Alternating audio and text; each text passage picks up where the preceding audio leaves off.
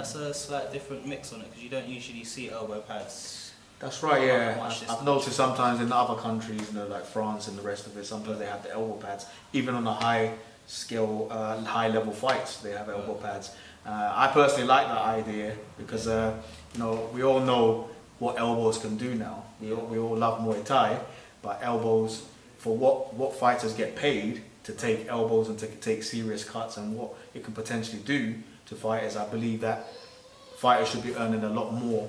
Uh, but we also need the spectators to come in in order for them to earn what they really deserve, so to speak. Course, so. I personally think there's nothing wrong with even professional fights being with elbow pads.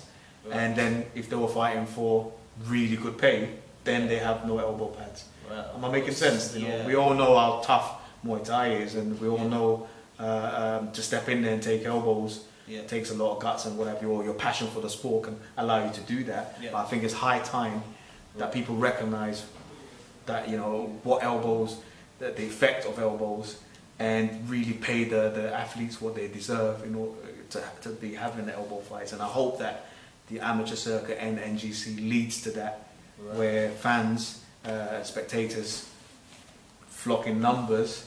Uh, to watch these guys, these high level fighters that have put in a lot of work into what they love. And hopefully, if it grows to that extent, then the fighters can get paid properly. You know, uh, I believe we're in a, it's already recognized as the hardest ring sport in the world, um, and yet we're getting paid the least. Yeah. Uh, and I'm not talking about just fighters, I'm talking about coaches as well. Um, yeah, I'm talking about everyone involved in our sport, really.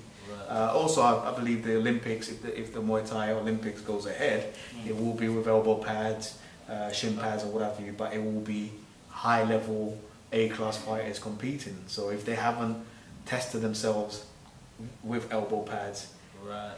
shin pads, or body harness, whatever, Yeah. then it, it it might they might find it hard to adjust again. So Of course, of course. it's, it's also a way of you know the country getting to you know the fighters getting to practice with protective gear again Right. in yeah. preparation for the Olympics, so to speak. Oh, okay.